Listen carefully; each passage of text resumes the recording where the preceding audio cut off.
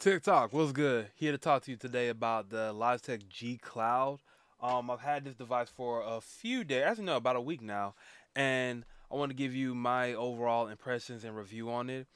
I believe this is an amazing device. The hardware hardware is amazing, feels nice and sturdy. This is really a uh, Android level switch, right?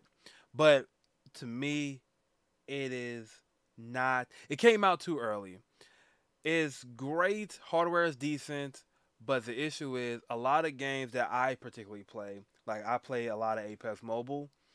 Apex Mobile doesn't utilize the controls on the device, even though this game is developed by Tencent and Logitech worked with Tencent to make this device.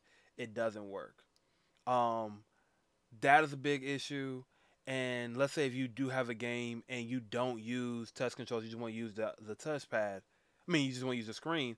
The controls get in the way. So great, great concept idea, but it, ah, you know, so close but so far. I would love to see um some level of more controller integration integration across genres. Um, I play Diablo Immortal on here. Controller works fine, so it's not all games, but as you can see, controller not moving. But when I touch the screen, now we're in the game, and it just defeats the purpose of the controllers. Um, now you might ask, why is this? Why I have this device? If you have a child or kid, or let's say you just don't want your phone to die and you're big into mobile games, I can see you carrying this around. This is super light, super portable. Battery life is great, especially if you're using this for Android games. You can do game streaming, which is how they market it, but I don't feel like this is the true intention for this device. Where it really shines is if for mobile gaming. Um, I'm trying to think of what else before. I don't want to make this video too long. TikTok. Um, but yeah, honestly, when the, when I've had it, and it works. Like Diablo Immortal has been the main game I've been playing on it. It's been fun. Battery life is great. Um, displays I got low for the camera, but displays get up good. Um, my the the speakers not great, not terrible either. In the middle, USB C port only for charging. I tried to hook it up to my dock so I can like stream it for you guys. Doesn't work. I'm assuming it's only for charging.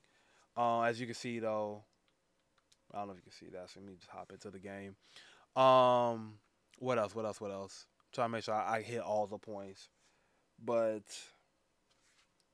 um, oh, comes with 64 gigs of storage. If you're again using this as an Android device, most of these games are like a couple of gigs, so you're fine. You can add more storage if need be. Yeah, so you can see now. Gra- like graphics look good. It's it's it's it's so close to being an amazing device. But I do believe there are more there's more that needs to be done with this. Now again, a lot of stuff can be changed throughout the software. So my final um recommendation is keep an eye on this device, see how um the updates are, see if they add more support.